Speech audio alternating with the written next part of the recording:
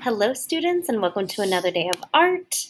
Um, we are going to be creating our own music album inspired by the music we've been learning about the past couple weeks. Last week we learned more about jazz. This week we learned more about contemporary music, more contemporary music of hip hop and rap.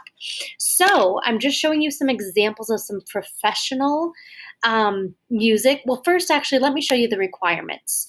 So to create your own album art, so you're going to basically each you know musical album that you create has art to it. A lot of musicians use photos but sometimes they actually use real art for it as well. Photography is also real art. Um, but i just mean art as in like paintings and drawings that they get um, printed so you're going to choose a theme for your album. You're going to make up make a design that uses at least half of your drawing page. And so a normal large drawing page, at least half of it, you can take up the whole page as well. That's fine. Um, use three or more colors. I want you to color in neatly and fully. And then you're going to hand these in by uploading them to the Google Classroom by 4 p.m. this Friday. Okay? Our first example here, I'm showing you some actual professional um, musician artworks. And so this one you can see it's a man and then they used some flowers and bees and a beautiful sunset and mountains.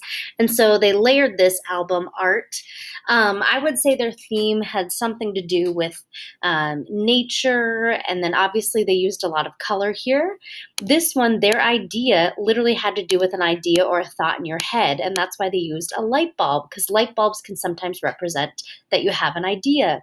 And then they use like paint splatters behind the light bulb.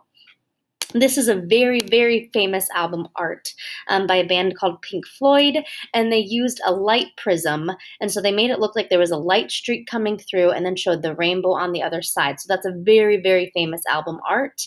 And then this one was a digital drawing um, where they put a cassette tape and with a bunch of nature and color as well. So these are actual professional albums, just as an example. I don't want you copying any of these. I'm just sharing these to help give you ideas. I'm now going to show you student examples of what students have created in the past. Um, so for, the, for this one, this student's theme was primary colors. As you can see, the primary colors, red, blue, and yellow. And then they added some orange, which is a secondary color, but their main colors were the primaries. And then they also wanted to focus on classical music because this um, student played piano. So they did a very classical grand piano. For this student's work, their theme was a bit more simple. It was just nature. But even though their theme was simple, they made a very complex design with all different aspects of nature, using a ton of color, super beautiful.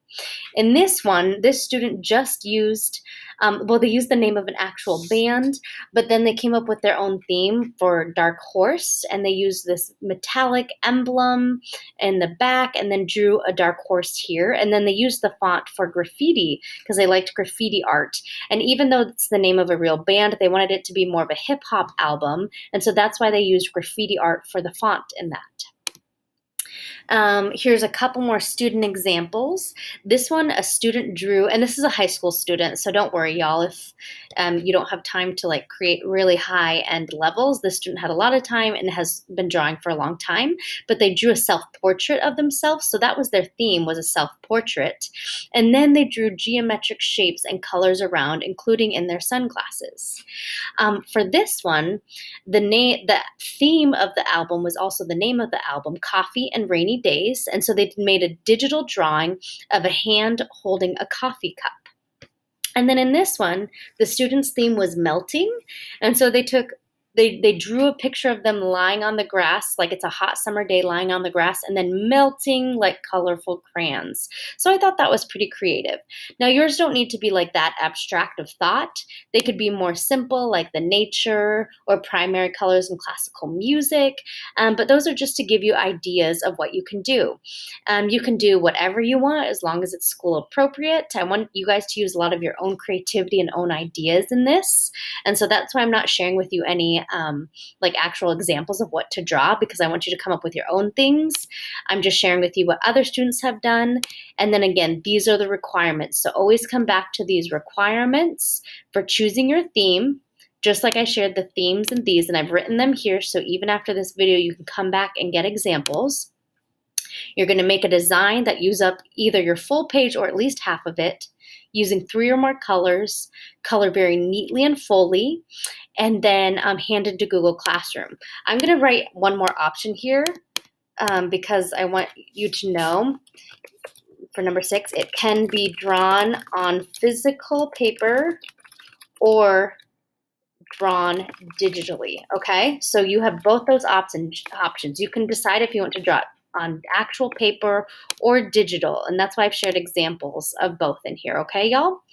All right, y'all. I can't wait to see what you come up with, and I'll see your artwork soon.